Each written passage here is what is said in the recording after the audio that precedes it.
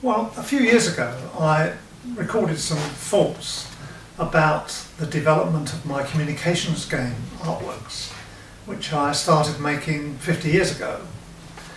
And since I made those notes, since I recorded those thoughts, things of course have moved on. With the internet, with augmented reality, and so on and so forth. So here are some thoughts about what's happened since then and where we're going next. Perhaps just to rehearse a few things about the beginning.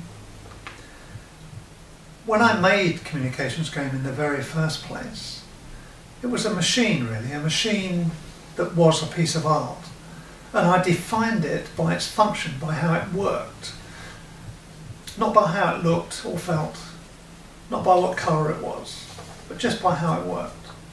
So it was a conceptual definition, and I made that very clear that it could be made in many different ways, providing it functioned as defined in my specification.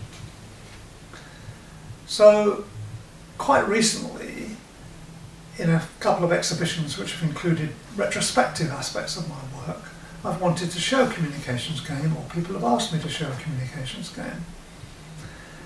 And what I've done is worked on reconstructions of it. Functionally the same, actually not looking all that different, but working not from logic circuits which I built using uh, soldering iron and pieces of wire and so on, but using computers, very small computers uh, that could be hidden, that performed the same function as the logic circuits originally. So I've shown this, for example, in uh, Primary Codes, an exhibition in Rio de Janeiro in 2015, and also in a retrospective of all of my work in Leicester in 2017, uh, and in other places too. So I'll come back to this in a few moments, but this notion that the work is not tied to the physical reality of how it appears is really quite important in this area of communications making art. So I said a few of these things um, when I made my earlier remarks, but let's think what happened next.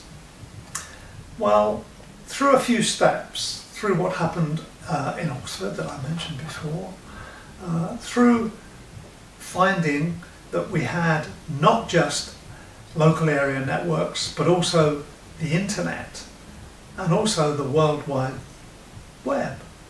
It became possible to make quite different kinds of work using the same concept as we saw in communications game. But it also mean, became possible to make much more complex versions of the communications game idea not to make too much of it, but I added another stream of my work to Communications Game to make a series of works which were called Cities Tango. The other stream of my work was mostly embedded in the works known as shaping form. These are interactive, generative works. So there are two functions there really. One is that they're generative, so they're, they're rule-based, they change forever according to those rules. Uh, the colours change, the timing changes, the shapes change and so on. Um, but they're interactive and the way that the interaction works is that the rules themselves are modified as a result of the interaction. So that over time they behave differently. So I added that to the communications idea and made a works in this games, works games, called Cities Tango.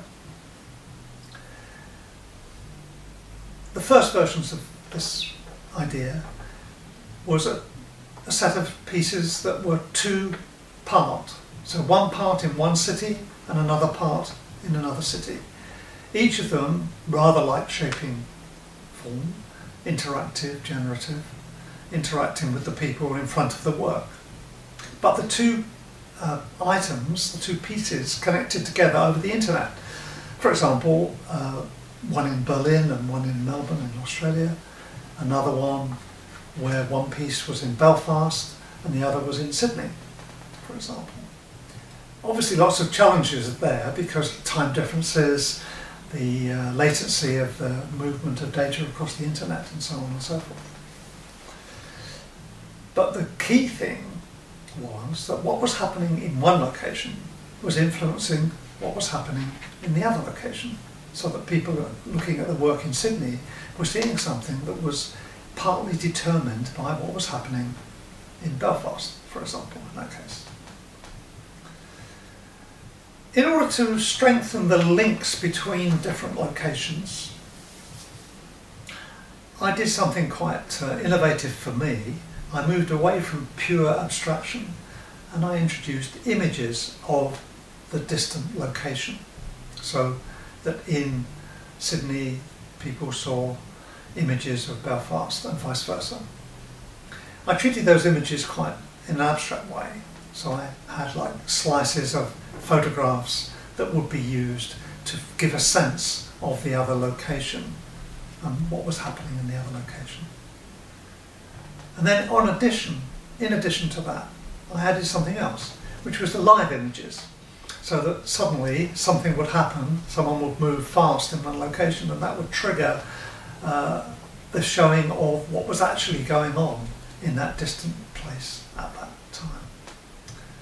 so in various ways, the communications idea was enhanced, enhanced using the generative art idea of shaping form uh, and the changing over time of shaping form into these works uh, using two city locations.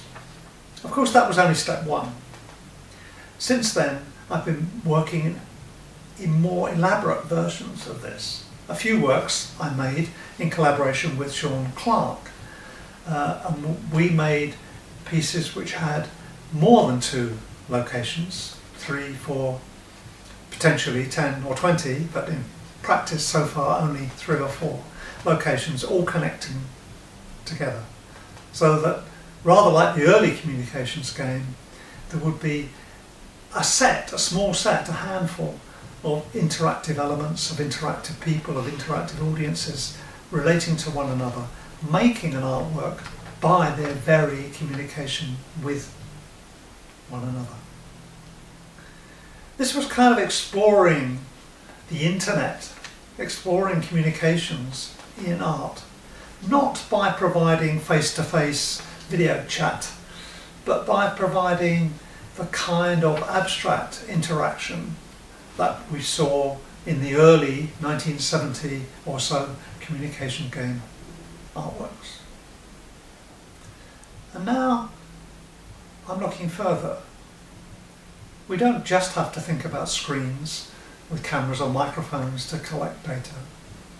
We're in an era now, not new, but because of the price of equipment, I suppose, becoming very interesting and fashionable and doable today, of virtual and augmented reality. So now there's another layer that can be added. People can wear glasses, wear a headset, and in that headset they can not only see whatever they could have seen without it, but virtual objects can be added. So instead of the screen uh, being imposed within a space, it now works the other way around. That the art objects, in my case very often blocks of colour, are placed within the space that someone is existing in. So within the space, instead of just seeing that space, that room, that piece of a city square, they see virtual objects, virtual objects that are artworks. But because these headsets can be connected across the internet, so you can have a set of augmented reality headsets worn in different parts of the same city worn in different cities, all connected together through the internet.